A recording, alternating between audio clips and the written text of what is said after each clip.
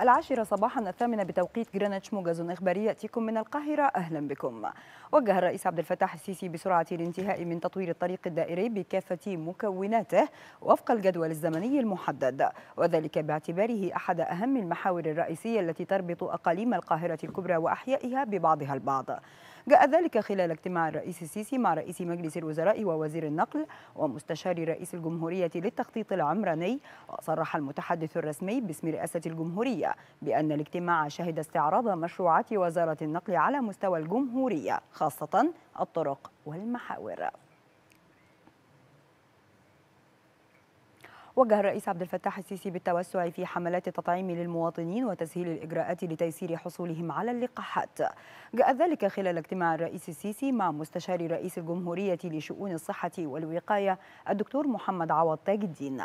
وصرح المتحدث الرسمي باسم رئاسة الجمهورية بأن الاجتماع شهد متابعة الوضع الوبائي الراهن لانتشار فيروس كورونا على مستوى الجمهورية فضلا عن استعراض الإجراءات الحالية المتخذة من قبل الحكومة لاحتواء انتشار الفيروس وحملات تطعيم المواطنين.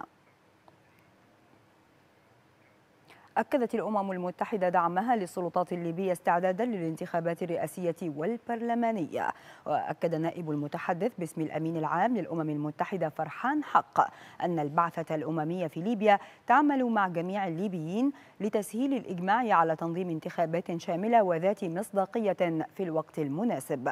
مشيرا إلى أن البت في أهلية المترشحين للانتخابات الرئاسية والبرلمانية المقبلة بليبيا من صلاحيات مفوضية الانتخابات.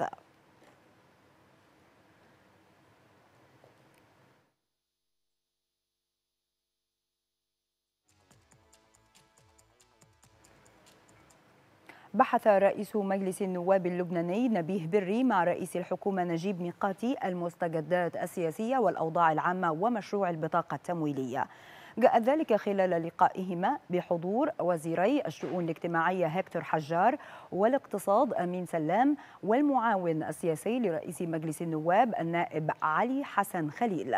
وأكد الحجار أن اللقاء تطرق إلى حوار حول كافة الملفات والشؤون الحياتية والبطاقة التمويلية.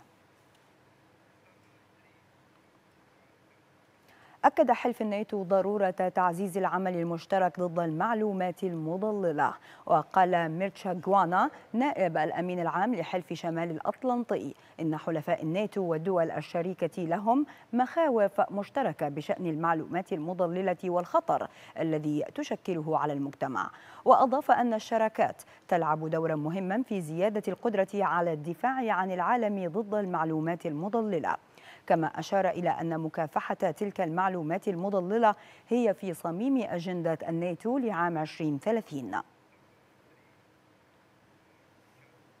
أفادت جامعة جونز هوبكنز الأمريكية بارتفاع أعداد إصابات فيروس كورونا حول العالم إلى أكثر من 254 مليون و300 ألف إصابة. وبحسب بيانات الجامعة فقد تخطت أعداد الوفيات 5 ملايين و100 ألف وفاة.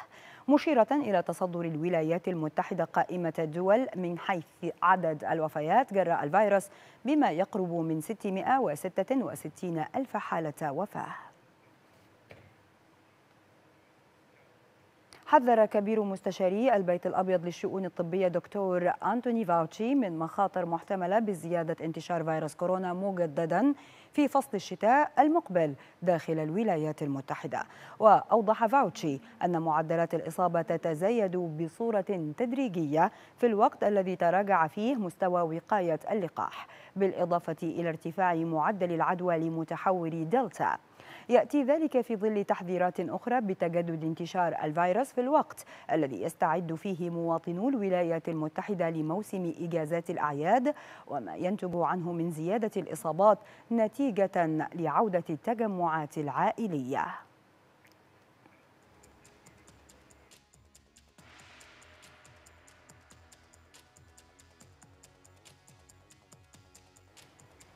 نهاية موجز العاشرة مشاهدينا لمزيد من الأخبار يمكنكم متابعة موقعنا على الإنترنت extranews.tv كما يمكنكم متابعتنا على مواقع التواصل الاجتماعي.